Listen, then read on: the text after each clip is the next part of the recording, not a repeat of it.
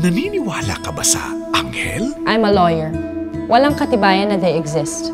And quite frankly, I'm contented with my life right now. I have a wonderful career and I have Paul. Namatayan ako ng anak, nagkahiwalay kami ng asawa ko, pero hindi ako kailanman nawala ng faith. Naniniwala ako na ang anak ko ay isa na ngayong anghel sa langit. Kilalanin sina Martha at Rachel sa Nathaniel. Ngayong April 20 na sa ating primetime bida.